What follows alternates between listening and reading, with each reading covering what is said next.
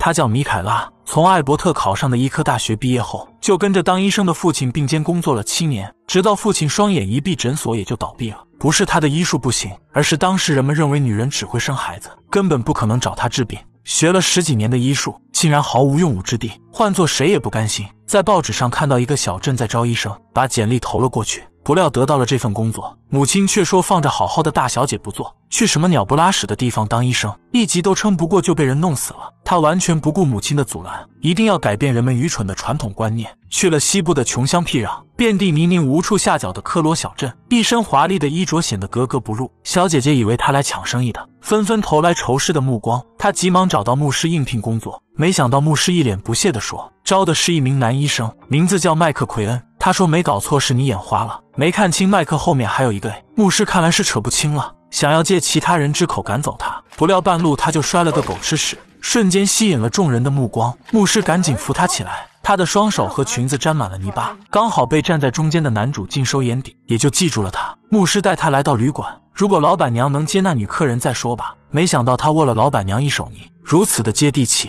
老板娘竟然接纳了他，并介绍自己的三个孩子给他认识。完全把她当成了好闺蜜，带她去商店张贴租房子、开设诊所的通知。可商店老板一脸不爽的说不准，闺蜜帮着说好话也毫无作用。这时男主和酋长走了进来，老板立刻指着告示的牌匾。面对不公平的对待，他直接取下牌匾，气得老板当场骂娘。少校夺过牌匾又挂了上去，男主受不了，一斧子飞过去，吓得军官连忙拔枪。男主养的狗立马对他龇牙咧嘴，他不敢开枪破坏条约，更怕被狗咬。所以很不服气，收起枪，留着这笔账在后面算。男主过去取回斧子，他顺势把告示也贴上去。两人眼神近距离的碰撞，眼看着就要擦出火花。闺蜜赶紧拉着他溜了，来到铁匠铺为他挑选一匹好马。没有经验，磨蹭半天也骑不上去。铁匠老黑都看不下去了。这时男主毫不客气占了个大便宜，他正想要骂娘，男主却拿着他的告示，得知男人名叫苏利，是个印第安人的翻译，跟着他来到一处荒山野岭。要把这栋破烂不堪的豪宅租给他，白人没人愿意租房子给他，他别无选择，一下马又摔了个四脚朝天，没办法见到大帅哥，根本把持不住，赶紧整理裙子，免得尴尬。苏利说：“连牵个马都费了好大劲，看来这个房东还真不好当。但念在他维护印第安人的份上，还是以月租一美元的价格租给了他。迫不及待从包里掏出医生的招牌，问他感觉如何。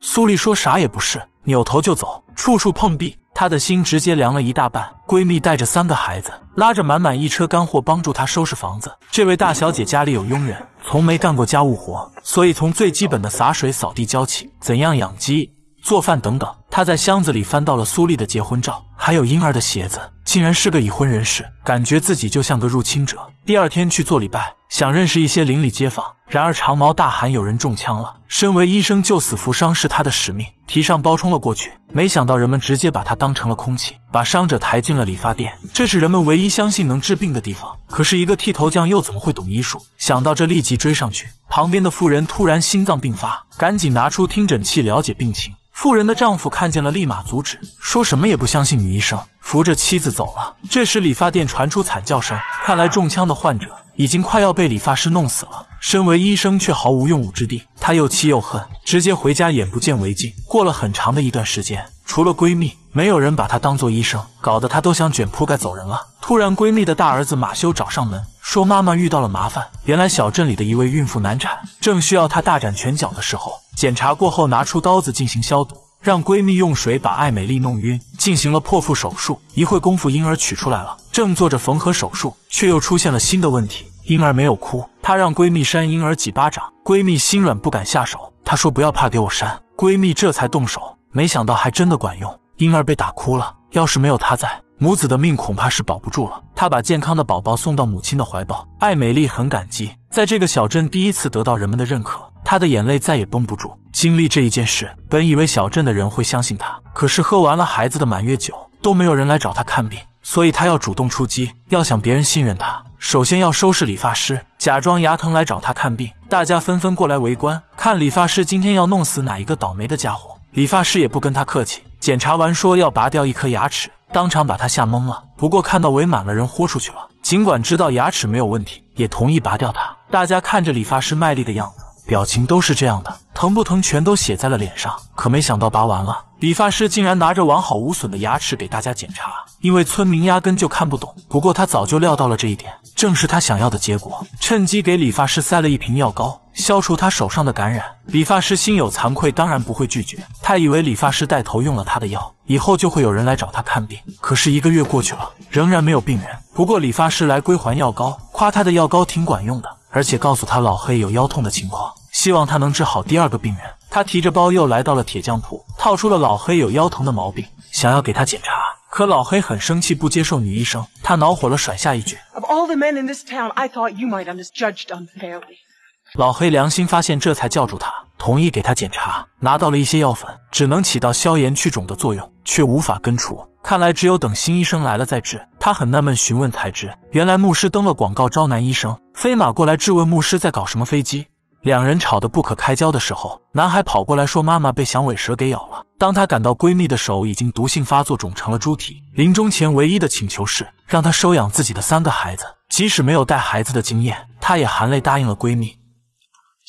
小镇上难得的大好人，就这样化作一堆黄土，却留下一堆债务。房子被查封，孩子无家可归，只能过来投奔他。可是小儿子布莱恩无法接受这位新妈妈跑了出去，哥哥追上去把他逮住，他又紧紧地抱住新妈妈，偷偷哭泣。本以为没事了，可是第二天他在商店不小心摔烂了一个糖果罐，商店老板可不是奥利森，骂他是个笨手笨脚的废物，索要两美元的赔偿。妻子也不是哈利特，说赔偿一美元已经足够了，老板这才改口，但还要清理完地板才能走。所以他让布莱恩收拾这烂摊子，不料男孩不服气地说：“他无言以对。”然后看到布莱恩去拿扫帚，也就以为没什么事了，瞒着老板悄悄给老板娘塞了一小包药粉，如果心脏病发就喝一点，关键时刻能保命，还要注意不要那么劳累。然后去邮局寄信购买药粉，却发现霍拉斯听力有问题，检查过后，从他耳朵掏出了一吨耳屎，听力也就恢复了，又获得一个男人的信任。回来的时候，却被一个小姐姐叫去看病。他毫无顾忌走进酒吧，长毛说这里不欢迎女士。他说自己是医生，什么场面没见过。米拉有些含蓄，病情难以描述，他也就明白了。检查完需要多休息，而且一个月不能开工。米拉立马慌了，长毛不废了他才怪。他说长毛交给我，来到前台以医生的身份要求长毛给米拉放一个月假。长毛当然不愿意，旁边的一群男人跟着起哄，要不你来顶替他的位置。他说：“你们这帮废柴想死的话，就去找米拉共度良宵。”长毛不信，直接叫他滚。而这群流氓却不想放过他，刚想动手动脚，苏丽就冲进来，抓住流氓甩出了门口。同伙立刻飞过来围攻，他随手又甩掉一个，却被男人狠狠地干了一拳，拦腰倒在了吧台。他用双脚锁住男人进行还击，渐渐地占据了上风，一脚踢的男人找不着盒饭。可是外面的男人走进来，直接就是上喷子。他抄起斧子飞过去，打掉了男人手上的枪，趁机拖上女医生，一步三回头，生怕他们追出来放冷枪。女医生跳上马车，伸手言谢，短暂的触碰，却给苏丽带来无尽的麻烦。有惊无险，又过了一天，醒来才发现布莱恩不见了。他心急如焚，骑上马出去找。这一幕让两兄妹很感动，心里面有些认可了这个妈。他漫山遍野的找，喊破了喉咙也没有任何回应，一路寻找到了印第安人的地盘，以为他是白人派来的间谍。连人带马被押回大本营，不过有苏丽这位保护神在，当然不会有事。得知他在找失踪的儿子，跟酋长汇报了情况。酋长说：“别担心，明天一早发动所有人帮忙找。”听到这，他很感激，学着他们语言说了句感谢。这一晚，在苏丽的呵护下，两个人睡在了帐篷。第二天，马修把情况告知牧师，于是小镇也组织了人员一起找。却看到印第安人有大规模行动。马修和牧师说，这可能是一场狩猎活动。可偏执的商店老板不认同，让村民回去通知上校，拉大部队过来灭了他们。医生和苏丽找了很久都没有线索，不料狗狗发现了布莱恩的衣物，闻着味道一路找到悬崖边上，却看到了躺在谷底的布莱恩。苏丽赶紧下去将他背上来，好在只是腿被摔骨折了，用树枝进行固定，不久就能康复了。没想到刚和酋长会合，白人的军队就把他们团团围住，看来要被一锅端了。医生赶紧冲出来阻拦，说这都是一场误会。上校说妨碍军务要崩了他。医生赶紧解释，他们只是在帮忙寻找布莱恩，并不是想要开战。再说了，你看他们的装备像要开战吗？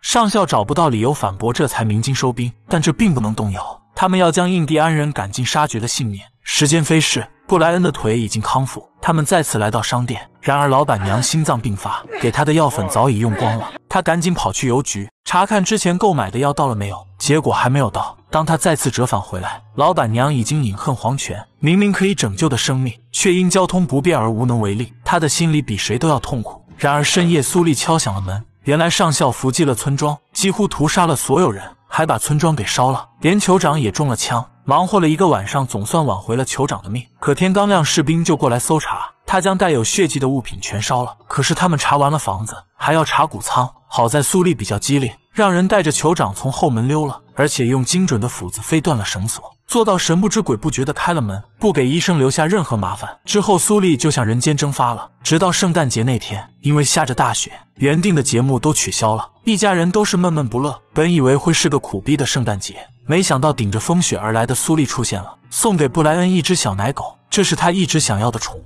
自然很感激，对苏丽的好感也瞬间拉满。接下来送给柯林一把骨头做的梳子，女孩子嘛就喜欢这些东西。然后送给马修一把小刀，马修也很喜欢。接下来就是压轴好货，特意为他做的又大又漂亮的招牌。代表着大家已经接受了这位女医生这几个月来的辛酸，看来只有苏丽能懂。想到这，她的眼泪再也绷不住，主动邀请苏丽留下来，就像一家人一样过了一次完美的圣诞节，却不知更大的苦难还在等着他们。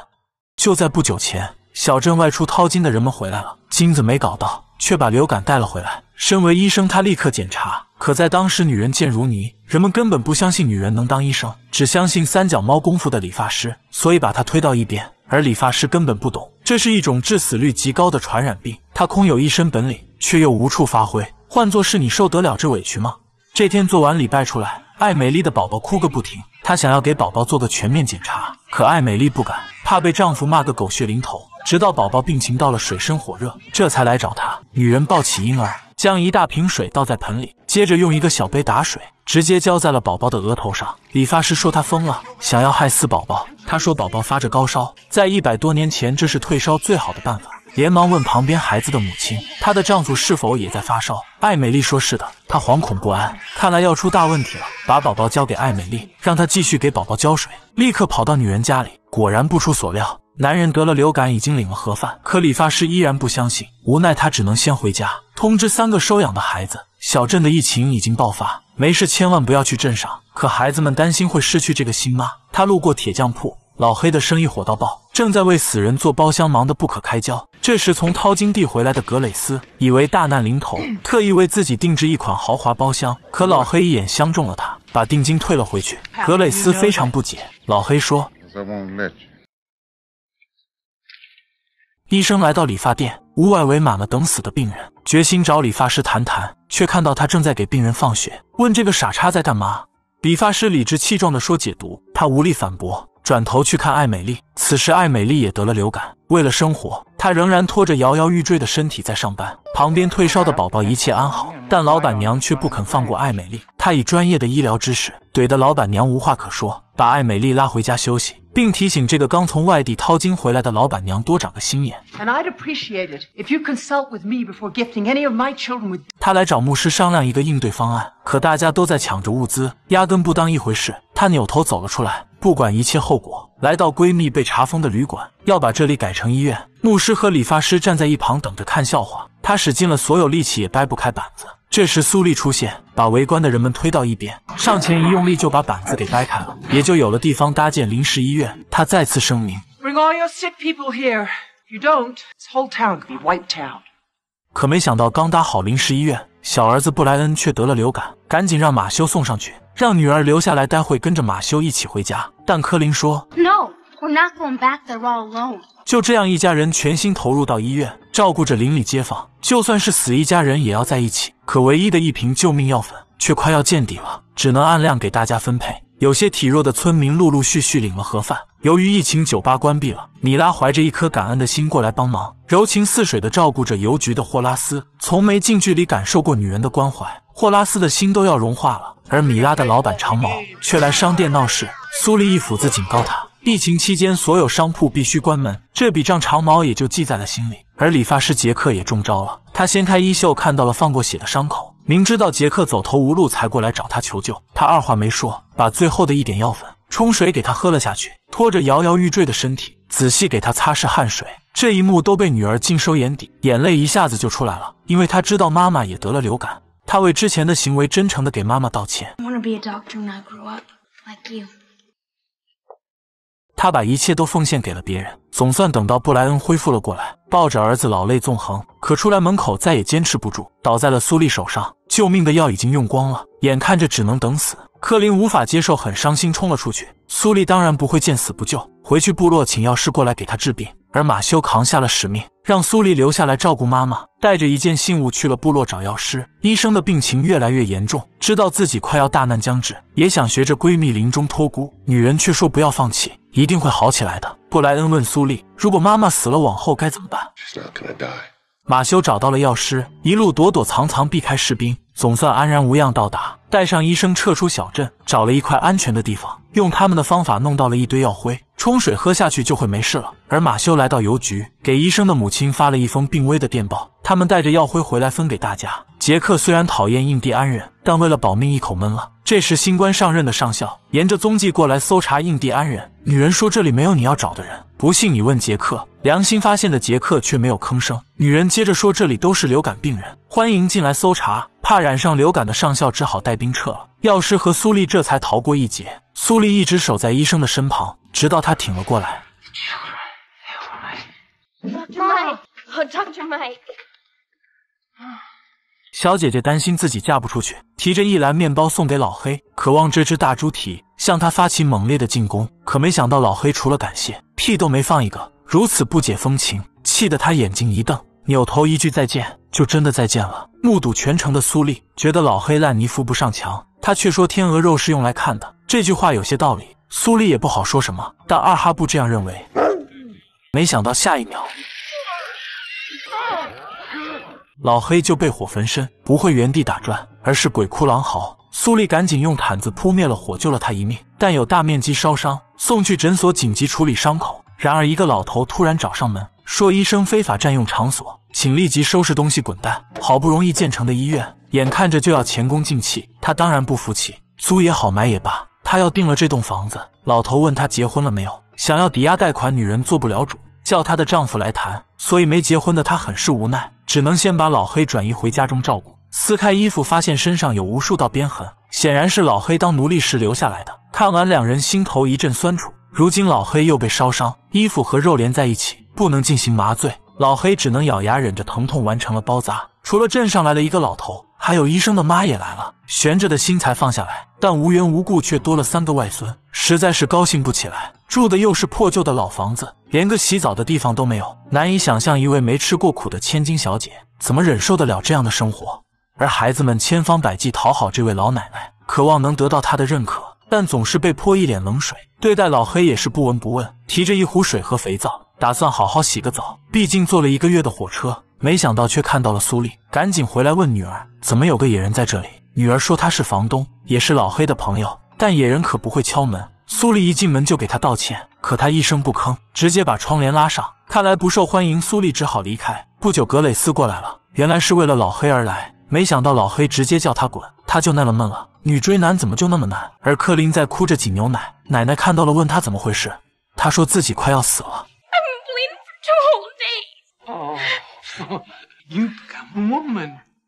没想到他冰冷的外表下，竟然藏着一颗炙热的心。告诉女儿，柯林已经长大了，不能忽略了他，赶紧进去找他谈谈。没有为女儿做好准备，他真诚的给她道歉。女儿说没关系，奶奶已经解释了一切。不久，长毛飞马过来，说自己被人砍了，缝一下要多少钱。长毛也有今天，这下总算栽在了他的手里。Dollar a stitch. Well, that's robbery. Your business elsewhere. Did you do it already? 把老黑摆在家中，总有诸多不便。他再次去镇里找老头协商，而老黑也就托付给老妈照顾。这一次他没有拒绝，把老黑照顾得妥妥当当，还有时间出来逛菜园，感受一下乡村的美好。苏丽说这是他妻子的成果。他问为什么还要搬家？苏丽说：“妻子难产而死。”他问：“孩子呢？”苏丽说：“跟着母亲去了。”听完，他不知道怎样安慰，只感谢他让女儿住在了这里。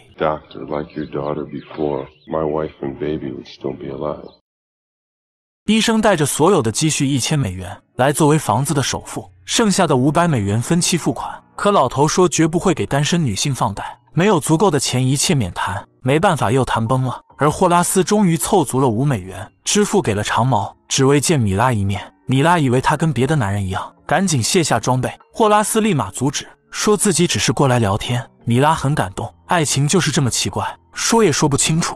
而格蕾斯也没有放弃，看到老黑做着噩梦，嘴里不停的念叨着让妻儿赶紧躲起来，足以见得老黑的悲惨遭遇。他用温柔的手安抚着他，这一次再怎么赶他走，他再也不会离开。老黑也就不装了，流下了感动的眼泪。格蕾斯终于收获爱情，哭了一天一夜。医生让他去房间休息，他来顶班。而母亲看到疲惫不堪的女儿，也叫他进去睡觉。他来看着老黑，而布莱恩直接坐在他的腿上，让他讲一个故事。所以他讲了女儿的故事。直到来到了科罗小镇，布莱恩接着把发生在小镇的故事讲完了。他终于理解了三个孩子和女儿之间的感情，他们谁也离不开谁。老黑康复之后，马修借来一个浴缸，一个多月来他总算洗了一次澡。离别前，把自己的祖传银梳子和镜子送给了科林。科林很感动，紧紧地抱住他，还把一个信封交给了女儿，里面有着厚厚的一叠马尼。Doctor needs a clinic. 男人出门溜个马，就在路边捡了个貌美如花的女朋友。可他并不知道兔字头上一把刀。女人一顿狼吞虎咽之后，就捂住嘴巴，匆匆跑到一边呕吐。男人的母亲立刻追上去，又是递水又是问候，因为她是一名医生，一看就知道这不是孕吐，而是饿过头了，吃什么东西都会吐得一干二净。马修搞懂了，心里更是怜香惜玉，拉着满满一大筐蔬菜送给女人一家七口。得知他们的父母不久前过世了，大哥又找不到工作，一家人饿得前胸贴后背，所以邀请大哥一起给小镇的老板娘奥利弗建农场围栏。但这位大哥一看到牛就流口水，忍不住说不知道什么时候才能给弟弟妹妹吃上一顿肉。马修当场提议把牛给宰了，有什么事比救命更重要呢？却不知闯下了大祸。老板娘奥利弗巡查完农场，拉回了半边牛，切口如此的整齐，不像是被狼吃的。哥哥说肯定是住在郊外的难民干的，兴师动众，带着一帮人直接冲进帐篷搜查。不出所料，找出了一扇牛骨，有了物证，扬言要吊死偷牛贼。大哥立马慌了，挣脱束缚跑了。长毛和杰克赶紧去追，医生劝奥利弗放过约翰，他说做不到。医生只好跟了过去。他们追得发火了。直接一喷子击中了约翰的肩膀，他顾不上疼痛，爬起来，朝着教堂一路狂奔。牧师看到了，赶紧把他扶进教堂，顺手把门给关了。出来拦住长毛和杰克，说他只是个孩子，何必呢？奥利弗问他到底站在哪一边，牧师站到高处说 you want me to move, you're gonna have to make me Me too. Me too.” 小镇也就分成了两拨人。长毛不服气地说：“等着瞧！”就把米拉给拖走了。医生给约翰处理完伤口。觉得这个小镇需要一名警长维护秩序，同时也需要法律体系，不能任凭村民胡作非为。因一点小事没经审判，想吊死谁就吊死谁。他一边发电报请法官过来，一边登广告招一名警长。马修心有惭愧来看约翰，要把所有的错揽在自己身上，可大哥不同意。这样一来就没人照顾弟弟妹妹了。靠他这个外地人，在这里根本找不到工作。经过一轮枪法的筛选。找了一名神枪手来当小镇的警长，工资当然由这一帮理事会的人来出。晚上闷闷不乐的马修刚想把真相告诉母亲，就在这时，愤恨难平的村民责怪医生在帮助外地人，又是砸窗户，又是投燃烧瓶，眼看着房子就要烧起来了。马修迅速抄起喷子，不顾母亲的阻拦，朝窗外开了一枪。吓得村民屁滚尿流。马修说偷牛是自己的主意，帮着约翰宰牛背回来，他跟约翰一样有罪。母亲责怪他怎能这么做。他说：“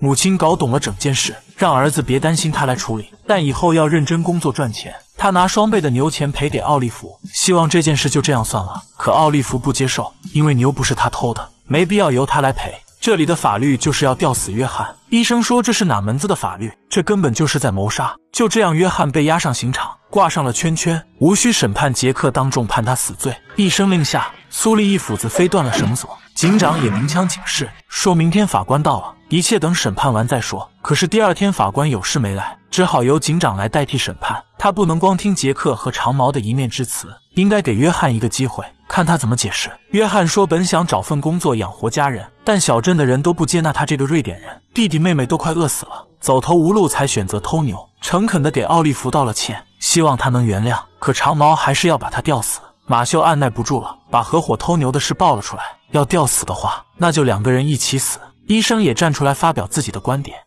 They know what they did was wrong. Someone they both cared for, starving. I'm dropping the charges. 老头的加油站长了一个肿块，理发师说这是疝气，用产后束缚带绑几天就好了。可他觉得事情没那么简单，搬出一大堆财产文件写遗嘱，无意间翻到一张地契，立马跑到女儿的坟前，告诉女婿两个好消息：第一，未经允许娶了他的女儿，欠他彩礼钱十万九千八；第二，在他的土地上建房子，要支付一笔宅基地使用费。苏丽说：“这块土地，丈母娘不是送给妻子了吗？”他说：“地契上没有写女儿的名字。”在法律上，这块土地仍然是他的。妹妹说：“你们两个什么时候才能停止战斗？”听完，苏丽扭头就走，不想跟他再吵下去。为了活下去，老头硬着头皮来找女医生，却不好意思给他看加油站，只是简单口述病情。女医生了解到大致病情，手口并用描述需要手术，吓得老头赶紧溜了，说什么也不肯动手术。苏丽也劝他听医生的，他说苏丽不安好心，叫他去宋思豪早日继承财产。苏丽被气得说不出话，跑来商店跟他当面对质。看过地契，还真没有写妻子的名字。不服气的说：“之前丈母娘把那块土地当结婚礼物送给了妻子。”老头说：“我不知道，没钱的话尽快给我搬走。”苏丽却跟他死磕到底。他来酒吧卖醉麻痹身心痛苦，却毫无作用，病痛让他苦不堪言。苏丽看到他这副样子，又心软了，捡起酒瓶递给他。他将酒瓶甩在地上，恨苏丽夺走了宝贝女儿。如果没有他，女儿和孙女就不会死。苏丽说这是一场意外。他站起来，直接给了苏丽一拳，还想继续出气，苏丽只能躲避，始终没有进行还击，抱着他冷静冷静。可老头气急攻心，倒在了地上，彻底晕厥。医生说不能再拖了，要马上进行手术。取得了奥利弗的同意，抬进诊所做术前准备。杰克认为女医生不可靠，想唤醒老头开溜。长毛也不相信女医生，认为这场手术注定失败，跟村民们进行打赌。只有几个人支持女医生，在女儿和苏丽的配合下，手术进行的相当顺利。可一旁观看的杰克直接晕倒在地，亏他还是小镇上人们相信能治病的骗子。经过漫长的两个小时，手术完美告结。买了女医生营的人们欢呼一片。长毛说：“别高兴太早了，等老头康复了再说。”母女配合完成了第一次手术，紧紧的抱在一起。而杰克一觉醒来，手术已经做完了。奥利弗很感激女医生，拯救了唯一的亲人。虽然哥哥平时老是反对他，但到了生死关头，还真怕再也见不到哥哥。但老头刚醒来，一看到苏丽就气得不行，伤口又流了大量的血，需要一个人给他输血。奥利弗说：“我来。”但医生说：“男人给男人输血，这样活着的机会更大。”显然医生是故意的。苏丽想了一下，同意给他输血。老头听完，看苏丽的眼神都不一样了。就这样，两个斗了几年的冤家，第一次近距离的躺在一块，但还是吵了起来。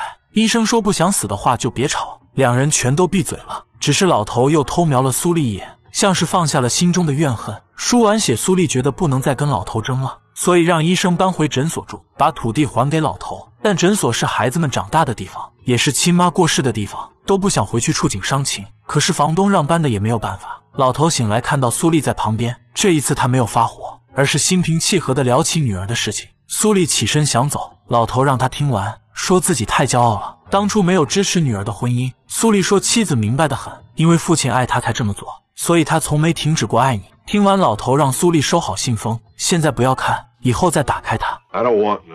Keep it. 医生这边东西收拾的差不多了，苏丽匆匆赶来告诉他们，这块土地现在是他的了，也就是说不用搬了，不用住在伤心的地方。孩子们都很高兴，而医生惊得很，问苏丽箱子的物品怎么处理。苏丽拿出妻子的照片，摸了一下戒指，就把它们放回箱子，说老头恢复的不错，扭头就走。Sully, stay for dinner. We have a lot to solve 为了开办一所学校，这帮开疆拓土的人，有钱的捐钱，有物资的捐物资，而医生广恩不施，免费给大家接种天花疫苗。此言一出，人们窃窃私语，搞得医生摸不着脑袋。直到他带着一袋边角料，想融入这帮妇女缝制被单。比较有经济实力的奥利弗不欢迎他，因为他的姨妈打完疫苗领了盒饭，说他不安好心，想要把小镇的人一锅端了。医生说一派胡言，打疫苗致死率极低，他和三个孩子都打了。奥利弗说那是你的事。医生左右环顾，见没有人吭声，无奈的回了家。没想到一个男人敲响了门，说的第一句话是 Hello, Colleen. 养了这么久的孩子们，早已把他们视作己出。可如今亲爸来了，难免担心前功尽弃。而且男人送孩子一人一件礼物，小的两个别提有多开心了。只有懂事的大儿子马修站在旁边一脸不满。医生很好奇，问他怎么突然回来了。男人说刚收到妻子过世的消息，大儿子这才没那么生气。之后他陪着女儿跳舞，教小儿子打棒球，表现的就像一个好爸爸。苏丽总感觉这家伙不安好心，甚至二哈也对他龇牙咧嘴，但一时之间搞不懂他想干嘛。直到晚餐的时候，男人突然来一句要带孩子们去旧金山，这把孩子们高兴坏了，冲进去紧紧抱着他。唯有马修将目光扫向一旁的妈妈，只见他流着眼泪，心都要碎了。实际上，男人在耍阴招，使他对孩子不舍的心更加强烈，这样就可以趁虚而入，主动送他去给病人看病，帮他拿快递，在花园聊天，哪里都能看到他们的身影，一直维持到正式募捐当天。为开办学校凑到了五百美元，男人也就原形毕露，邀请医生跳着含情脉脉的舞蹈，人们全都退出了舞台，让两人成为了舞会上最闪亮的一对。被医生冷落的苏丽满脸不快，更可恶的是。跳完了舞还拨弄她美丽的头发，这是女人最脆弱的地方，差点就忍不住要跟男人一起去旧金山了。好在定力还不错，万万没想到男人的目标不是她，也不是为了孩子，讨好他们不过是为了掩人耳目，偷了件学校用的五百美元。不料被苏丽逮个正着，立马掏出喷子威胁他，出来骑上马扬长而去。苏丽赶紧追出来，告诉医生那家伙偷走了捐款，骑上马去追，而医生也追了上去。苏丽抄近道，将男人扑倒在地。男人爬起来，立刻抄喷子。苏丽一斧子打掉了枪，冲上去来个你死我活，却被男人占据了上风。医生捡起地上的喷子，朝天上开了一枪，迅速对准男人，才控制了局面。苏丽在他兜里掏出了捐款，人证物证俱在。医生问男人怎能这样对待孩子？他说一切都是为了你，没有钱，一家人在旧金山怎么生活？医生立马心就软了，竟然放下了枪，对苏丽说放了他。悄悄把钱放回教堂，就没人知道这件事。苏丽不甘心，但他又补了一句：“一切为了孩子。”男人也就全身而退。医生回来跟孩子们说，父亲遇到了急事，回了旧金山。可孩子们都不信，竟然连个招呼也不打。正在他为难的时候，苏丽拿着一封信走来。You left a letter. Dear children, I've learned that our ship was lost in a storm. I'm sorry. I can't take you with me. Please know that I love you. 最近小镇多了很多病人，他们都有相同的症状：腹痛、牙龈出血，轻轻一扯头发就掉了一大把。那么问题出在了哪里？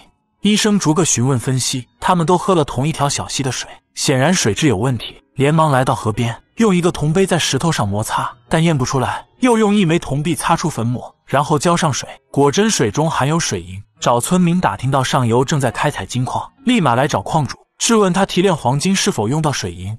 矿主说没错。这是提炼的最佳方法。医生说小镇已经有很多人中毒了，叫他停止往小溪排污水。他说关我屁事，扭头就走。医生很生气，要去工地取证，务必告到他倒闭。没想到他毫无畏惧，如果敢来工地，就以侵权者处理，一律有来无回。医生越想越气，为了人们的健康，决心去取证，解决这个毒源头。苏丽劝不动，只好跟着他赴汤蹈火，闯进了封闭的山区，沿着河边一路寻找，源头还没找到。就先碰到了美洲狮，吓得马儿丢下主人跑了。所幸美洲狮对两人不感兴趣，而村民得知他们惩恶扬善，组织一支队伍去支援。路上却遇到一只臭鼬，长毛以为有野餐了，拿个石头砸过去，臭鼬翘起尾巴，直接一个屁，把众人熏得破口大骂，吃不完，根本吃不完，身上全是屁味，在河里洗了半个钟，衣服都洗了五六遍，仍然残留着屁味，也许熏晕了头，找不到路了。马修认为往右走才对，其他人不信也就兵分两路。这四个吃饱喝足的家伙不听劝，也就迷路了。来来回回都是见到这座石山，而医生离矿场不远了。突然，矿主的人经过，一时分心，从上面掉了下来，手被摔骨折了，忍着疼痛不敢吭声。苏丽帮他包扎好了，劝他回家。他说永不放弃。苏丽也不再说什么，拿起梳子一遍又一遍梳着他的头发。两人都知道对方有意思。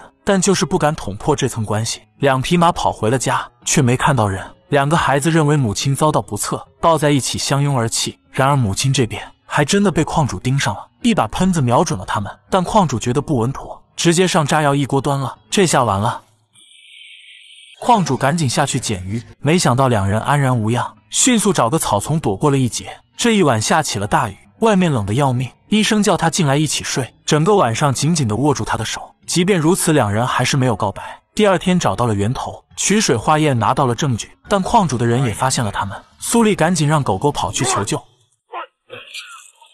而村民走了三天三夜，还在原地打转，打算回家的时候，却看到了狗狗，跟着狗狗赶来营救。可是他们压根就不需要这帮废柴，因为矿主的儿子良心发现，假装中毒肚子痛，医生顺理成章救了他一命。矿主自食其果，明白了排污水带来的后果，也就听从苏丽的意见，建一个池塘来收集废水。还送了两匹马给他们回家。路上遇到这帮蓬头垢面的村民，虽然在大山里迷路了几天，但得知是来帮忙的，医生很感动，解决了毒源头。村民们早已备好了大餐，犒劳几个劳苦功高。吃了一个屁回来的村民，医生也没有揭穿他们，悄悄的给苏丽说声感谢。苏丽也对他说感谢。既然如此，大家心照不宣。但他们还要经历多少苦难才能修成正果？在酒吧工作的小姐姐突然怀孕了，急得不知如何是好。医生建议生下来，她当然想啊。问题是孩子的父亲都不知道是谁，不敢想象在这个女人贱如泥的年代，以后该怎么生存。所以医生请霍拉斯去见女人一面，希望她因为爱情而盘她。不料被酒吧老板听到了，就是一顿劈头盖脸的辱骂，质问他哪里来的杂种。霍拉斯无法忍受，站出来说：“Me, baby's mine。”阻碍了长毛赚钱，给他一个熊猫眼算轻的了。再来找米拉，狗腿都给他打断。不过霍拉斯毫无畏惧，瞒着长毛又来找米拉，告诉他那天说的话是真心的，希望米拉答应嫁给他。米拉感动到一塌糊涂，半天也说不出一个字。霍拉斯以为他不同意，嘲笑自己想吃天鹅肉。米拉急了，赶紧说：“Yes, Myra, Myra, Myra, Myra。”万万没想到，医生检查过后才得知米拉没有怀孕，而是卵巢上长了一个肿瘤，需要动手术切除。但是他没有这方面的手术经验。听到这，霍拉斯流下了眼泪。出来门口，却碰到长毛来逮米拉回去上班。如果要帮他赎身，就拿出五千美元。霍拉斯直接给了他一拳。长毛不服气，两人就在大街上打了起来。霍拉斯不是他的对手，被揍成了猪头。米拉看到这一幕，心疼的要死。医生拉上老医生上前阻止。保证尽快动手术治好米拉，这才说服了长毛。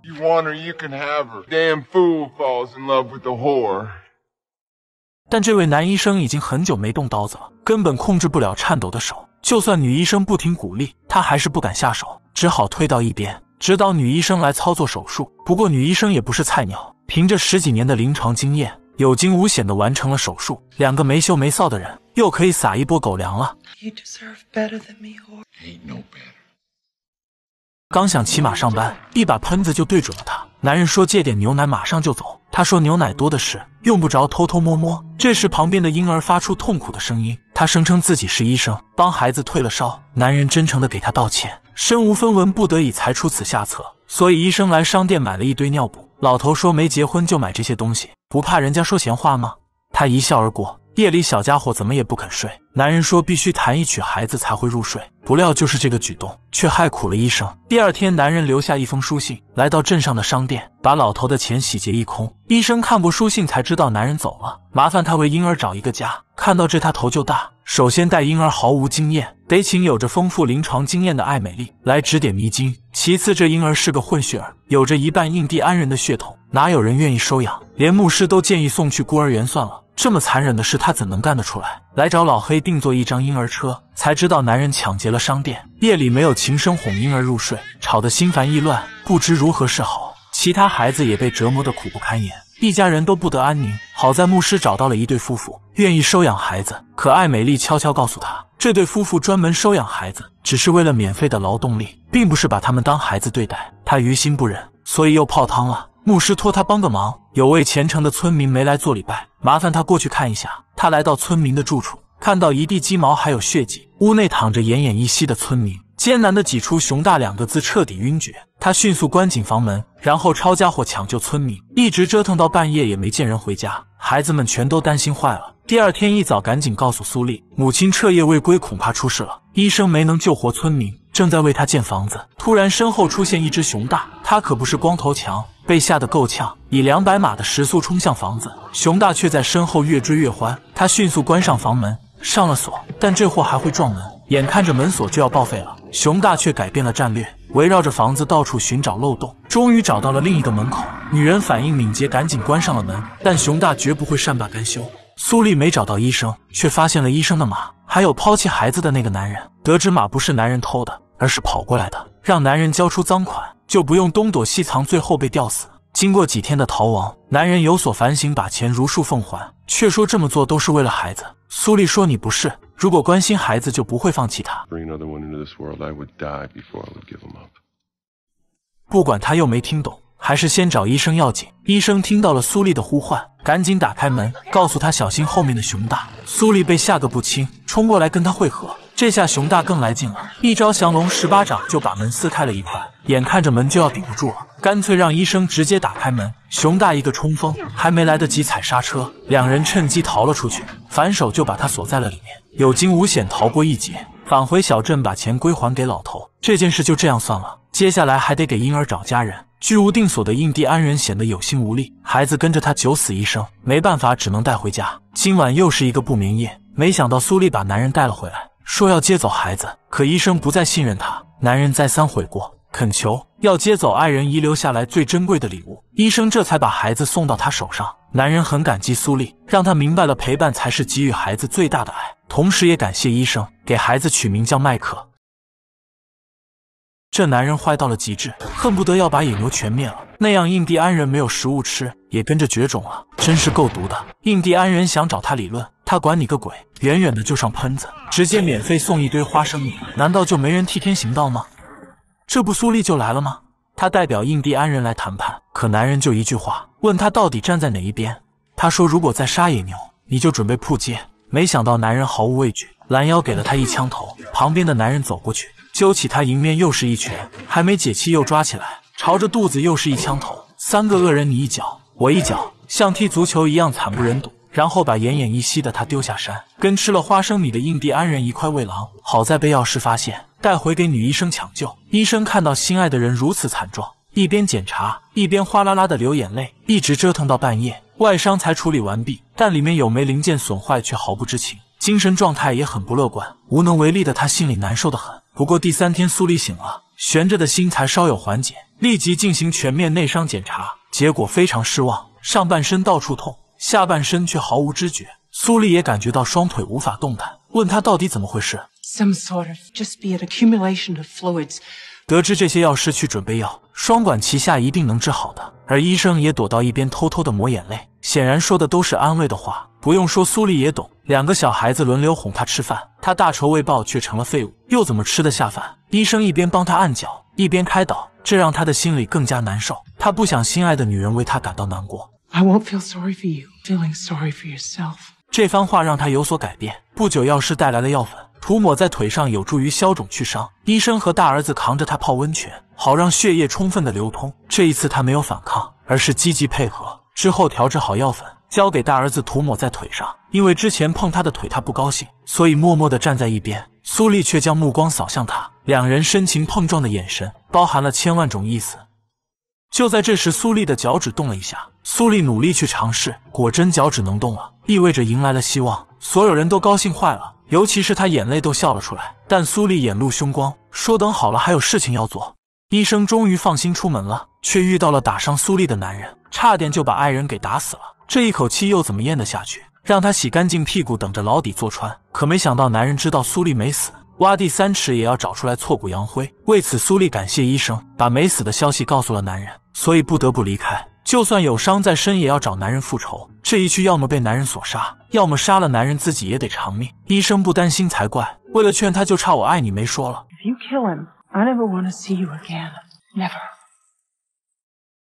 没有听到那三个字，孑然一身的他还是去了。医生劝不动，只能跑来找印第安人帮忙。可是他们有心无力，只要离开保留地。白人的军队立马把他们一锅端了，无奈他只身前往解救。但印第安人也不是吃素的，他们拿出了杀手锏，立即举行隆重的仪式，召唤传说中的牛魔王。而苏丽这边被男人发现了，得来全不费功夫，立马举喷子瞄准他。不料突然出现牛魔王为他护体，等男人反应过来，苏丽打掉了他的枪，两人开始刀光剑影。在被男人揍了一顿之后，苏丽把他压倒在地，直接就是两拳，抽出斧子狠狠地砍了下去。为了医生留着他一条狗命，让他滚出这个地方。如果再见到他，就没那么好运了。可作恶多端的男人又怎么会乖乖听话？捡起喷子想要放冷枪，没想到身后突然钻出一只牛魔王，直接送他上西天。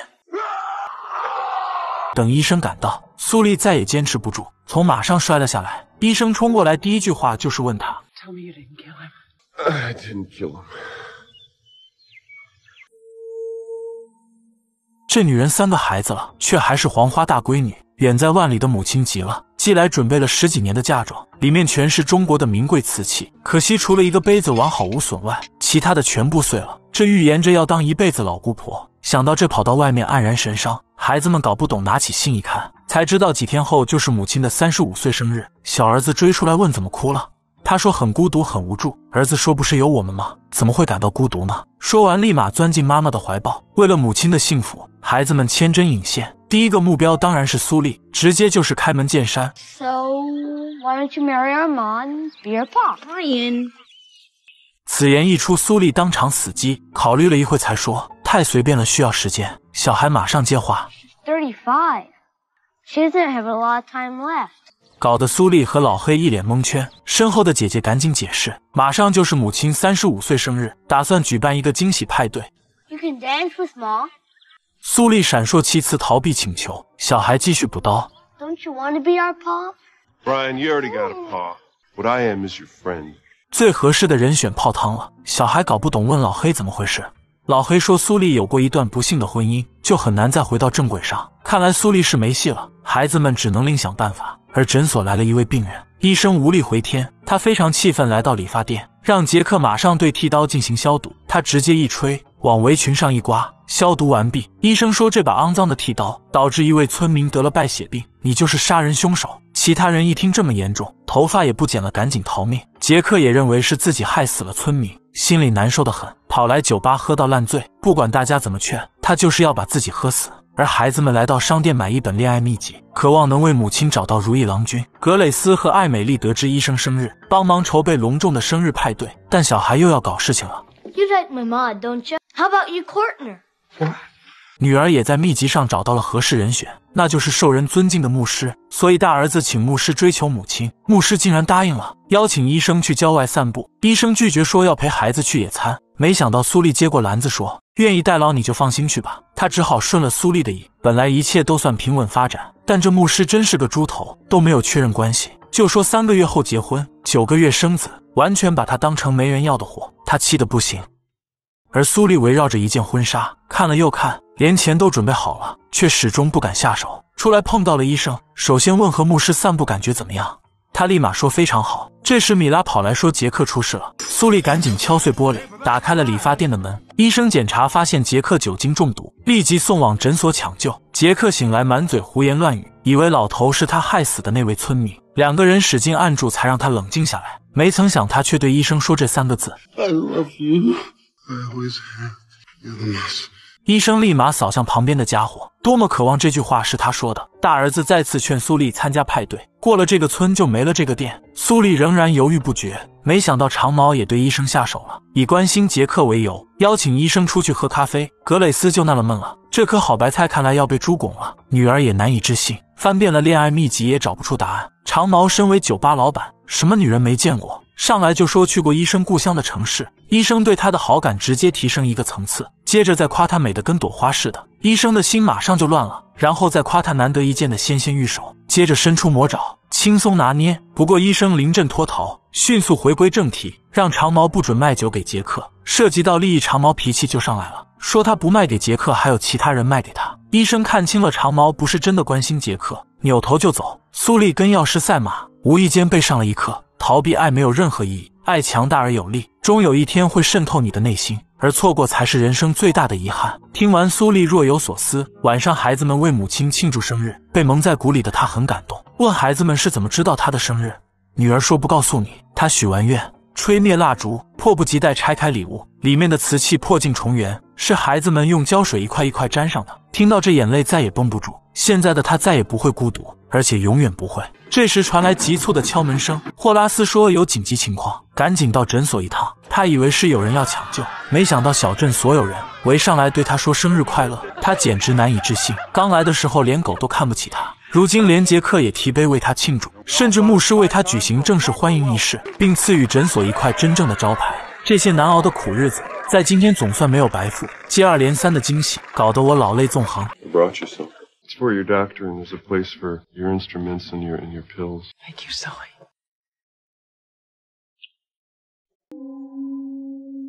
在一个马厩里，有一对小情侣试图突破防线，突然母亲回来了，却听到了传说中的打闹声，赶紧打开门阻止。两人惊慌失措地说啥也没干，可母亲不相信，要好好的教育儿子。然而女孩突然哮喘发作，几乎马上要断气。好在母亲是医生，用一些药物暂时保住了性命，送走了女孩。接下来要给儿子上一课，儿子还是那句话，啥也没发生。不相信他，那就没什么好谈的了。为此，医生苦恼的很，麻烦苏丽帮忙开导儿子。一句话点明了要害。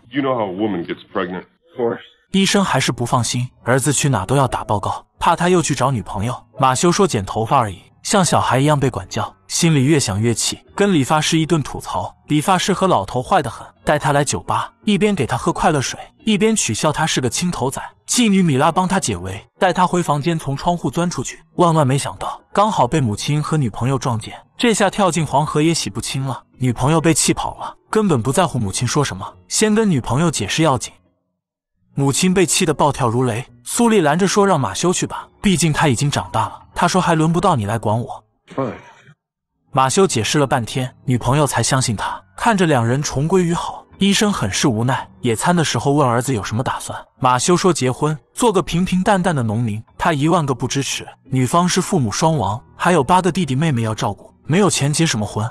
应该去上大学拓展视野，说不定会遇到一个更好的女孩。可马修铁了心要结婚，他也来气了，不管一切也要阻止。两人吵得面红耳赤，他跑来跟牧师说：“如果马修请他主持婚礼，请一定要拒绝。”牧师说：“做不到，这取决于两个人是否是真爱。但是没有你的祝福，往后他们一定不会幸福。”他还是不希望儿子背上沉重的负担。可儿子说 Don't tell me what to do. You're not my mom. You're not a man.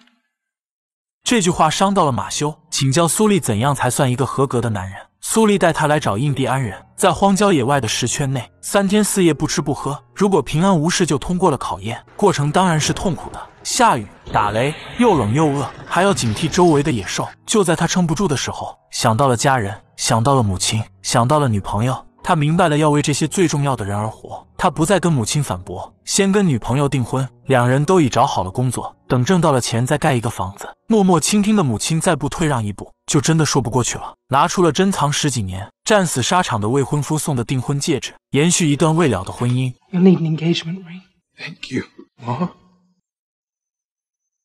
光天化日之下，这对不要脸的情侣秀着恩爱，搞得小姑娘也想体验一把该死的爱情。可能老天听到了他的请求，天气突然就凉了。最关心他的大叔给他披上了一件外套，这满满的爱意他根本把持不住。学着那对情侣回应着大叔的爱，把外套的另一头分享给大叔，还把头靠了过去。在回去的路上，一直紧紧地抱着苏丽，沉浸在自恋中无法自拔，甚至分开了仍然回味无穷。但问题是，苏丽可是养母的菜，所以 Are you in love with Sully? I do love him, but as a friend. 再三确认这不是横刀夺爱，他给苏丽写了一封信，麻烦长得有点帅的男孩转交给苏丽，却不知男孩喜欢他，这封信也就没送出去。他来到荒郊野外一处破旧的老房子，美滋滋的等着苏丽来赴约。怎么也没想到，这鬼天气就跟女人的脾气一样，说变就变，冻成狗也就算了，还刮风打雷，劈中一棵大树，倒在房子的入口处。这下好了，出不去了。他懒得挣扎，睡一觉再说。苏丽和养母很担心，找了一夜也不见人。早上寒冷退去，冰雪也已经融化。女孩醒来，发现手指被冻成了热狗，根本无法动弹，急得她大哭求救。好在被敏锐的二哈发现，终于等来了苏丽，抱回诊所。养母用温水抢救双手，可是实在是疼，需要精神支柱，忍不住说 Get Sully to leave, please.：“ 养母觉得不对劲，用质问的目光扫向苏丽。” I'll wait outside. 医生这才打消疑虑，继续帮女儿处理受伤的手。处理完，拿份报纸读个爱情故事给她听。读着读着，又发现不对劲。故事的女主也躲在山洞，等着爱人来赴约。她明白了，女儿恋爱了，但那家伙会是谁呢？这时，那个男孩拿着信，说要退回给女儿。一不小心，这封信掉在了地上，刚好打开了。他捡起来一看，上面写着：Dear Sully, I'm in dire need of your assistance. 原来如此，赶紧来到房间，把苏丽叫了出来，差一点就真情告白了。关键时刻又刹住了车，请苏丽不要抹杀女儿的希望，一切等到手好了再说。不久，男孩来看她，又是送花又是嘘寒问暖，知道她喜欢学医，特意带来一台显微镜，找不到昆虫观察，用小刀在手上划出一道口子，将鲜血抹在玻璃上。他当然明白男孩的意思，可惜自己已经名花有主 didn't have to do that just for me. I wanted to. 几天后，他的手好了，迫不及待要找苏丽。母亲说，苏丽之所以关心你，是出自亲人之间的爱，并不是男女之间的爱。她无法接受说母亲妒忌了。True, Colleen. I don't love you. No. 苏丽追出来解释了半天，才说服他接受现实。初恋来得快，去得也快。第二天就跟男孩坐到一块，聊理想，聊未来，聊人生。一个要当科学家，一个要当女医生，这郎才女貌，将来必定不同凡响。男孩站在树上想学老鹰起飞，大人发现想要劝他下来，但已经来不及了。身为医生的母亲通过一系列测试，见孩子跟正常人没什么两样，也就松了一口气。不料第二天，男孩就出现视力模糊，用不了多久，眼前一片漆黑，接着什么也看不到了。母亲这才意识到问题很严重，应该是脑出血压迫到视神经造成的失明，而自己的专长不是脑科，只能发电报到城里请专家。很快收到了回复，专家最快也要一周才能赶到。可是孩子已经处于晕迷状态，不能再等了。拿出几本脑科的书专心研究，然后找几个村民帮忙，要亲手为儿子做手术，牧师帮忙麻醉，千万不能让孩子动，否则随时会没命。理发师帮忙剃掉孩子的头发，他摆好各式各样的手术用具，逐一的教临时护士认识，等下他随时要用到。交代完又翻了翻医书，所有工作确认无误之后，满头大汗的说 Ready? 带着一帮新手，第一次做脑科手术，病患还是自己的儿子，可想而知他面临的压力和责任到底有多大。